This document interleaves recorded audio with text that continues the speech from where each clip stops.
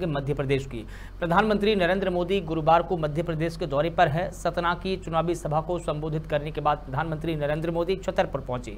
इस दौरान प्रधानमंत्री मोदी ने छतरपुर में कहा कि अयोध्या में भगवान राम का मंदिर न बने, इसके लिए कांग्रेस ने भगवान राम को काल्पनिक पात्र बता दिया था। उन्होंने बुंदेलखंड को बूंद बूंद पानी के लिए तरसाया है, इन्हें सौ साल तक सत्ता के लिए तरसाइए। पीएम मोदी ने कहा कि सतना के अयोध्या में जिस तरह से भक्ति से हम प्रभु श्री राम का भव्य मंदिर बना रहे हैं, उसी भक्ति से गरीबों के घर भी हम बनाते हैं। जिन्हें पीएम आवास नहीं मिले हैं, उन्हें मोदी की गारंटी है कि उनका घर भी बनेगा। तीन दिसंबर को सरकार वापसी पर पीएम आवास का काम तेज़ी से शुरू होगा। ये मोदी है जिसने चार करोड़ घर बनाए हैं, लेकिन खुद के लिए एक घर तक नहीं बनाया। मोदी ने युवाओं को खासकर फ़र्स्ट टाइम वोटर से कहा है कि पूरे चुनाव को आप लीड करिए।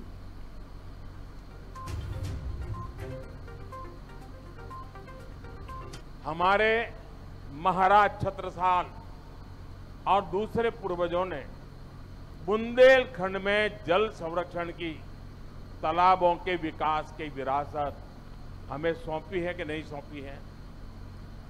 अच्छे से अच्छे जल प्रबंधन की व्यवस्था सौंप के गए हैं कि नहीं गए हैं? जरा ज़ोर से बताइए, दे के गए कि नहीं दे गए?